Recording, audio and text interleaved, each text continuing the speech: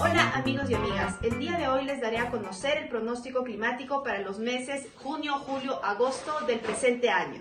En cuanto al pronóstico de temperaturas máximas, es decir, la temperatura más alta que se alcanza durante un día, esperamos que en gran parte del Perú estas estén dentro de sus rangos normales, a excepción de la selva norte donde esperamos condiciones cálidas.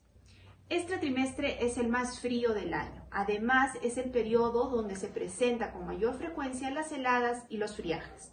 De acuerdo al pronóstico climático de temperaturas mínimas, se espera que en gran parte de la región andina estas estén dentro de sus rangos normales, a diferencia de la Sierra Norte Oriental donde se esperan condiciones cálidas.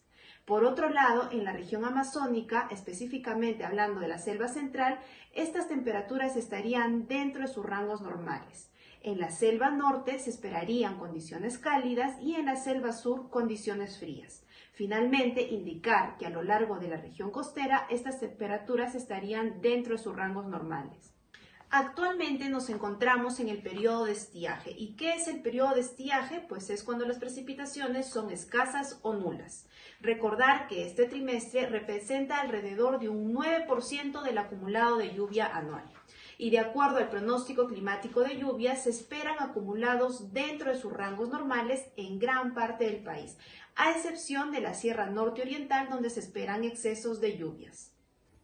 Estos pronósticos climáticos nos dan a conocer las condiciones promedio para los próximos tres meses. No prevén los eventos extremos de corta duración, por eso es importante complementar este tipo de pronósticos con los pronósticos de tiempo o pronósticos de corto plazo que emite el SENAM.